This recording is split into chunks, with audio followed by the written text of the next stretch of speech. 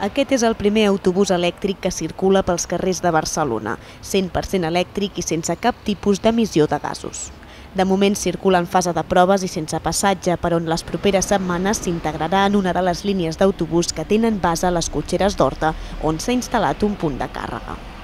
Xavier Trias i el primer tinent d'alcalde, Joaquim Forn, han donat a conèixer el nou autobús, fabricat a la Xina i que va arribar a la ciutat segons un conveni signat al març que estableix que TMB en disposarà durant dos anys en règim de lloguer amb opció de compra.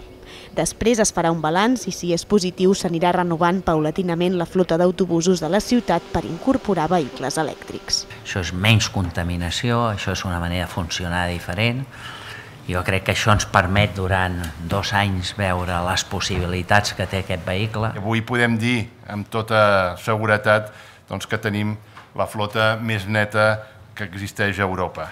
El nou bus té un tamany estàndard de 12 metres, capacitat per a 80 passatgers i una autonomia de 250 quilòmetres, suficient per una jornada en una línia urbana.